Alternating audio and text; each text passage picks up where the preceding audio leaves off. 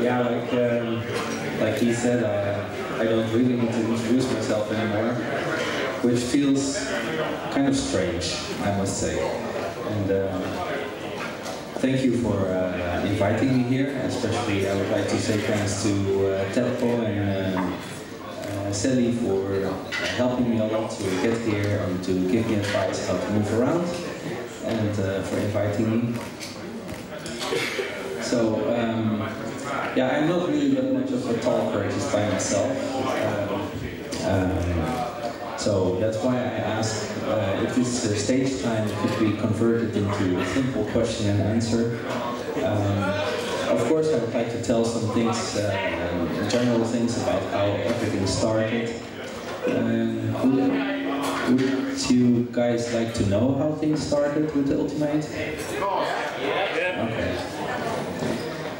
Now it's uh, it's a long story because it already goes back about 10 years. Um, the ultimate, uh, whole idea, it all started with that. Uh, in the company that I work for, I also do electronics and uh, FPGA design. Actually, in the company where I work, uh, Technolution, that is uh, where I uh, have started using FPGAs and built up uh, like uh, that uh, that class of sport in, the in the company. And uh, because uh, I have a heart for Commodore 64, I started implementing parts of the Commodore 64 and FPGA back then. So a really long time ago, maybe more than 10 years ago. And um, it uh, processed, as it progressed, uh, there was this this girl from uh, America. You probably all know her, Jeri Ellsworth, who came to the Netherlands, and I met her in person. And um, yeah, she was uh, already way ahead of me in implementing the Commodore 64 and FPGA, so I thought, yeah, why would I do the same thing? You know, why would I just be a Me Too guy? You know? Why would I do that? So uh, I decided to implement the 1541 floppy drive instead, instead of the machine itself, which was also easier. And uh, I demonstrated this at the, the Commodore gatherings in the Netherlands. And uh, yeah, there was a lot of interest, and uh, then the idea came up to turn it into a cartridge. And uh, yeah, because it occupies the cartridge slot, I uh, decided to implement also a lot of uh, extension cartridges in the in, in the in that design, so that um, yeah, people would not have to give up using their, their cartridge. And um, yeah, so it all, uh, all, all began. And uh, the funny thing is that I am um, a little bit naive. I'm a naive person, you could say. In one of the gatherings where I demonstrated the first prototype of the, of the 1541 Ultimate as a cartridge, um, there was this uh, Swedish guy, um, I think it was Two Flower, do you guys know him, Two Flower?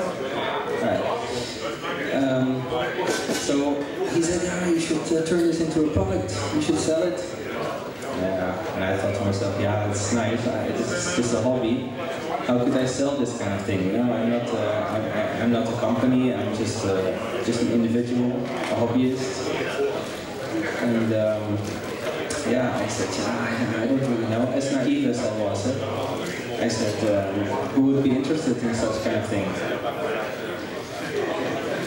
So it happened that um, he asked me, so how many do you think you need to produce in order to make it even feasible? I said, yeah, maybe 25, 40, 50 maybe. And he just laughed. And he said, you know what, you, you just go ahead. You just go ahead and produce them. I'll take this idea back to Sweden and I'll get you at least 40 people that want to have this, what you just created. That's how it started. So, yeah.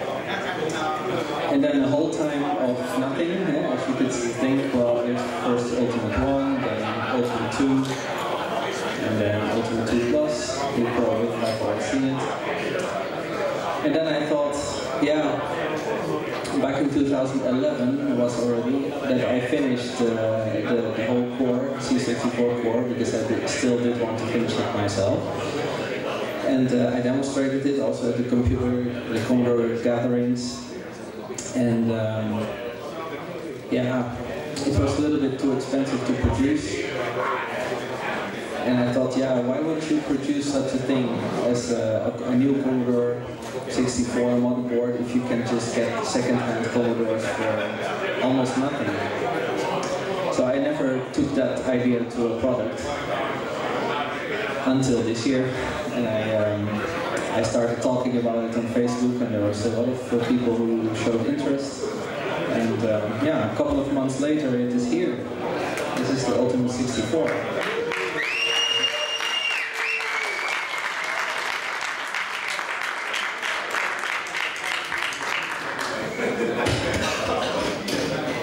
some people have already seen it, but others might think that I'm by just showing you the Commodore.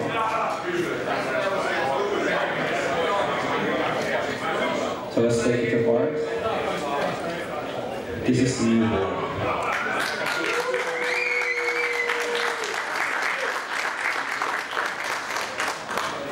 So I would like to hand over the microphone to, uh, to turn this into a question and answer. Thank you. We can maybe start with a couple of warm-up questions, easy ones, and then we'll let the audience ask. So maybe the first thing to ask is, when can we start throwing money at you? I'm holding it off on purpose. I could have already like opened the gates, but I'm not doing that until I'm very confident that this is actually uh, uh, a good product because otherwise I have to tell you no at a certain point, and that would be more disappointing if you have already paid. so um, there are still some issues to be solved. But I haven't given an answer. I expect it to be uh, in a couple of weeks to, to, to let it uh, start. Okay, another one. Uh, is it going to be uh, both PAL and Um, there is no technical limitation in this uh, hardware uh, for not supporting NTSC, so uh, it can support NTSC, but I would like to finish first the PAL implementation, then to spend my time on uh, two implementations at the same time. So it will eventually support NTSC. I have an NTSC machine at home that I can use for um, for tracing and debugging and comparing, so it will, it will get there. Thank you. Maybe then let's let the audience ask. I'll pass the mic. How many disk drive emulators you have sold so far?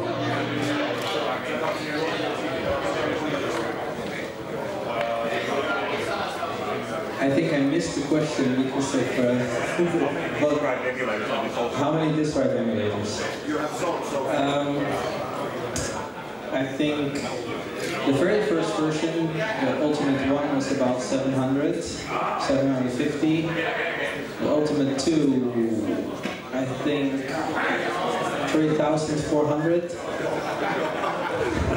And the Ultimate 2 Plus, I am now at around 1,300. Total, about 5,000 pieces.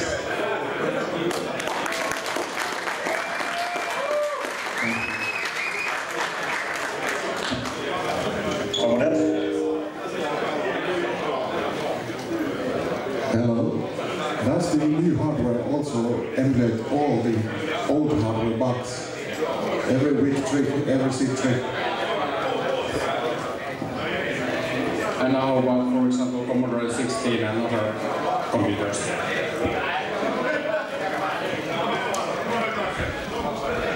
Okay. The first question to all the bugs. As good as it gets, I, I think. I, I think there will be things that are difficult to emulate.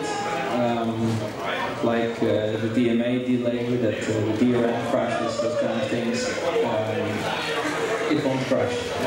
What I can tell you. Um, the DMA delay itself will probably work, but the crashing won't.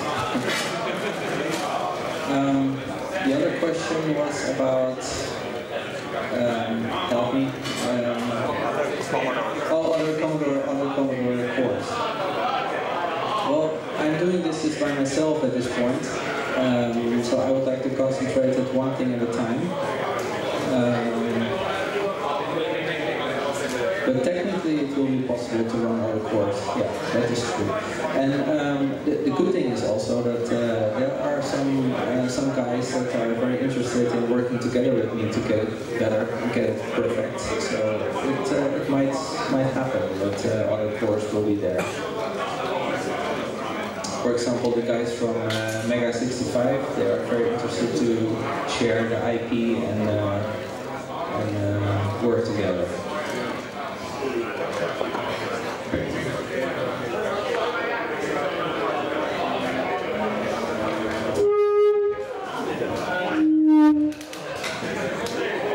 Could you tell us about uh, digital audio video output?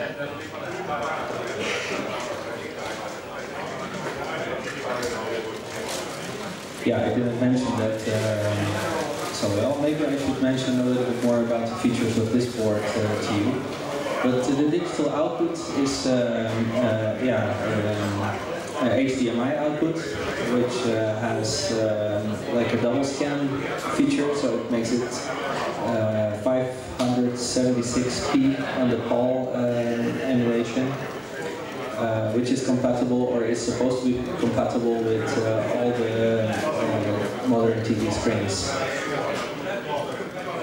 It includes audio, so the, the uh, it's either the emulated SID or the SID or the sound from the SID sockets that is also on the board is uh, digitized uh, by a codec, an audio codec, so the, uh, it can be merged with the video stream to the digital output.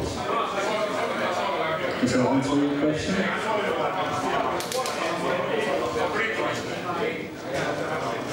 Anybody else?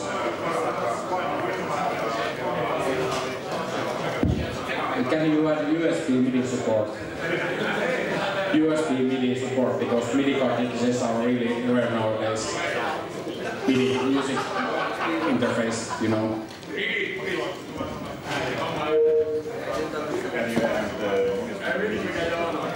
USB MIDI support. I'm not planning on USB MIDI support, but uh, you're free to implement it. If you need any help to uh, have access to the code, to the code, uh, it is based on the Ultimate 2 application, which is also running in this uh, machine. So uh, it has USB, and uh, we can figure out a way to uh, disclose it or connect it to the C64 code.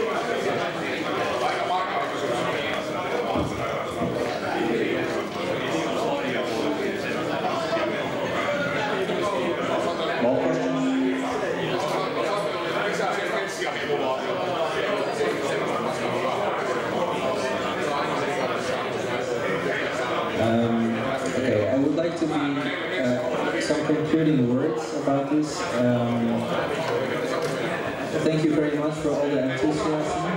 Um, I must uh, say that it is not yet finished. Um, please allow me some time to finish it in peace. um,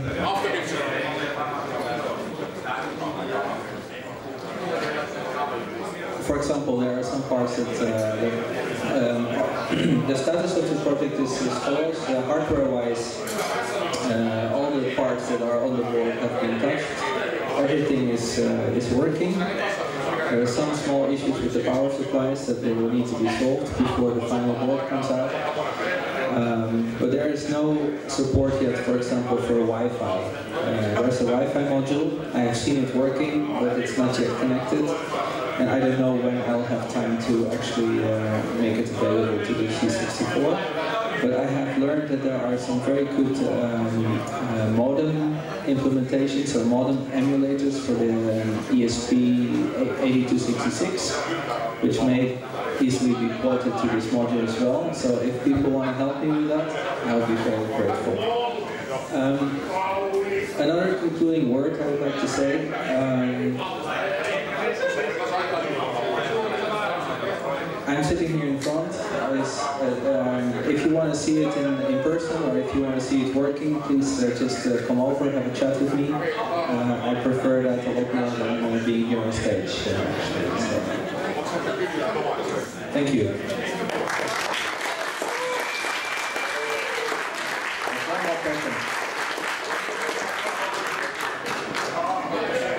So, uh, I wasn't, I didn't hear if you are going to open source the software, the, yeah, the FPGA uh, code and the firmware.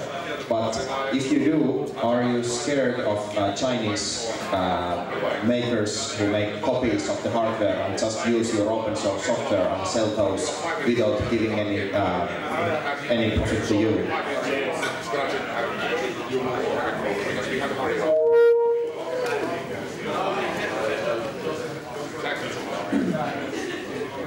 I still haven't made my final decision about open sourcing it. Uh, as you know, the, the 1541 Ultimate is completely open sourced. I have not seen any negative drawback or uh, drawback or negative effect uh, so far. Um, I'm not really that scared of the Chinese uh, in that regard. Um, I think it's too small of a niche market to be interested uh, to be interesting for Chinese copies. So yeah, you never know. Um,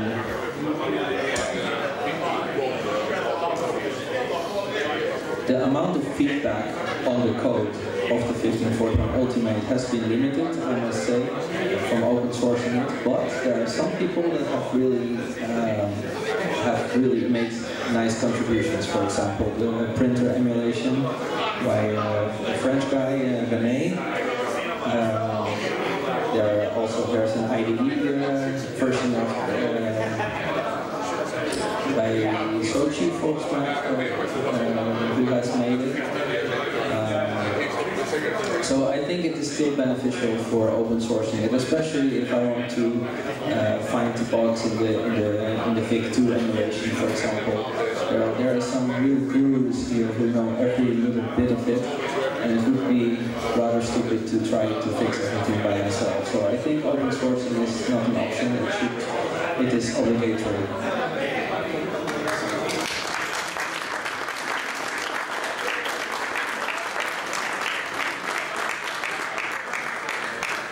So you will find Gideon in that corner there. If you want to check the board, if you can get your ultimate signed like I did, now's your chance. And maybe one more round applause to Gideon for coming here.